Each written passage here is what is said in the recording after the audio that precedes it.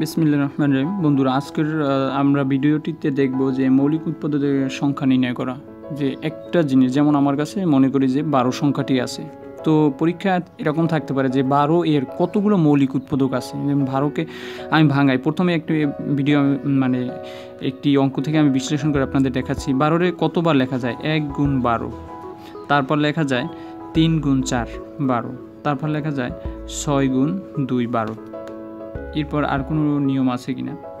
আর কোনো নিয়ম নাই। আর কোনো রকমই বারো হয় না। তাহলে বারোকে বাঙালে কাদের কাদের গুণ করলে বারো হয়? এরকম কতগুলো আছে সংখ্যা? এক, দুই, তিন, চার, পাঁচ, ছয়। এখন আমার যে ছয়টাই হবে, আমার যদি অনেক বড় সংখ্যা হয়, তখন আমি কীভাবে যে বুঝব যে আমার টোটাল ছয়টাই হবে? বা এখন এটার মৌলিক উৎপাদক পাঁচটা আছে বা এটার মৌলিক উৎপাদক আঠারোটা আছে, আমি কীভাবে বুঝব? তো তার জন্য যে টেকনিকটা আমি এখন ফলো করব, যেমন বারো। আমি এখানে নিলাম, এই নিয়মে আমি করব, দুই দিয়া ছয় দুগুণে বারো, আবার দুই দিয়া তিন দুগুণে ছয়। তাহলে আমার উৎপাদকগুলো কি আসে? দুই গুণ দুই গুণ, তিন। আমার এটা আসে। এখন দুই যে দুইটি, আমরা জানি এর পাওয়ার আছে এক, এর পাওয়ার আছে এক। গুণের সময় পাওয়ার পাওয়ারে যোগ হয়, এক যোগ এক। গুণ তিন তিন তো একটাই। আর দুইয়ের পাওয়ার তাহলে ফাইনালি দাঁড়াল দুই এবং তিন। তো এই আমার টেকনিক এখন শুরু। যে আমি সব কিছু একটা একটা করে নিব, তারপর আমি আমার রুলসে যাব। যেমন এটার পাওয়ার কত? দুই। যেহেতু এটার পাওয়ার দুই, এই দুইয়ের সাথে যোগ হবে এক, সবসময় এক যোগ হবে, যত থাকুক না কেন। ব্র্যাকেটে আমি ক্লোজ রাখব, তারপরে গুণ। এরপর তিন, এর পাওয়ার কত আছে? কোনো পাওয়ার না থাকলে আমি বুঝব এক আছে। তাই এক, আর সবসময় যেহেতু যোগ হবে এক, তাই আমি এক যোগ করলাম। তাহলে এখানে কত হয়? তিন, দুইয়ের এক, তিন, গুণ, একের এক, দুই।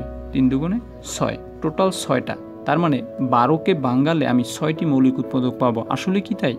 যেমন এখানে দেখি, আবার প্রথমে আসলাম, যে বারোকে বাঙালে এক, তারপরে দুই, তিন, লেখে নিই এখানে, বারোকে বাঙালি পাই এক, দুই, তিন, চার, ছয়, বারো।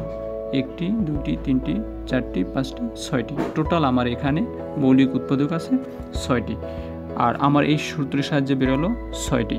আবার দেখি আমি কীভাবে করব আরেকটি সংখ্যা থেকে দেখি, যেমন, এখানে ধরলাম আমার, আমি লিখলাম যে ষোলো। ষোলোকে আমি ভাঙাই। ষোলোকে ভাঙাইলে আমার কত আসে? দুই দিয়া আট দুগুণে ষোলো, দুই দিয়ে করলে আসে চার দুগুণে আট, দুই দিয়ে করলে আসে দুই দুগুণে চার। আর আমার যায় না। যেহেতু এটার আমার মৌলিক কত আসবে? দুই গুণ দুই গুণ দুই গুণ দুই। এখন দুই গুণ দুই গুণ এর আমি যদি এখানে কয়টি আছে? এক এক এক এক। পাওয়ার এক এক লিখলে আমার ফাইনাল লেখা যায় চার। ওকে, তাহলে চার লিখলে আমার এখানে কত আসে? চার লিখলে আসে চার দুই লিখব, তার উপর লিখব চার যোগ এক। টোটাল আমার চার এটি নিয়ে আমি এখান থেকে দেখাচ্ছি যে এটার পাওয়ার কত আছে? পাওয়ার আছে আমার চার। তাহলে চার যোগ এক। আর সবসময় এক যোগ হবে যে পাওয়ার থাকবে তার সাথে এক যোগ হবে। টোটাল কয়টি হয়? পাঁচটি হয়। আমার পাঁচটি মৌলিক উৎপাদক এখানে হবে। তাহলে আমি দেখি ষোলোকে ভাঙাইলে কতগুলো হয়? ষোলোকে ভাঙাইলে আমি লিখতে পারি চার গুণ চার চার চার ষোলো। আবার লিখতে পারি আট গুণ দুই, আট দুগুণে ষোলো। এরপরে লিখতে পারি চার চার ষোলো, আট দুগুণে ষোলো। এরপরে লিখতে পারি আর কত লেখা যায়? ষোলো একে ষোলো আমার লেখা যায়। এরপরে আর কিছু লেখা যায়? এক, দুই, তিন, চার, পাঁচ। আর কিছু সম্ভবত লেখা যায় না। ষোলো আক্ষে ষোলো, আর দুগুণে ষোলো, চার চার ষোলো। আর সম্ভবত ষোলো করা যায় না। তাহলে আমার ষোলোকে ভাঙাইলে আমার কতগুলো আসলো? এক সব সময় থাকবে। দুই, চার, দুইটা গুণ একটা লিখব। চার, আট, ষোলো। কয়টি হলো? এক, দুই, তিন, চার, পাঁচ। আমার পাঁচটি হলো। তো আপনাদের আমি ছোট একটি এইচ ডব্লিউ দিব, যেটি আপনারা কমেন্ট করবেন। কমেন্ট করলে আমি অবশ্যই অ্যান্সারে জানাব যে কতটি হবে। আপনারা বলবেন, ছয়ের ছয়ের মৌলিক উৎপাদক কতগুলো হবে?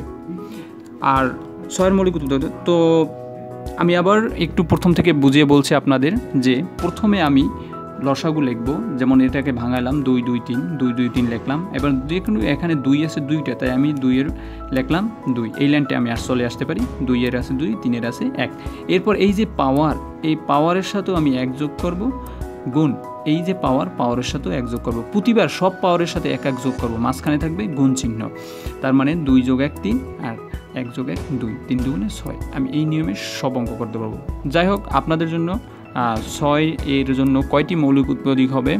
আশা করি আপনারা কমেন্ট করবেন যদি বুঝে থাকেন। আর আপনাদেরকে ধন্যবাদ আমার পরবর্তী ভিডিওগুলো দেখার জন্য। আমন্ত্রণ রইল।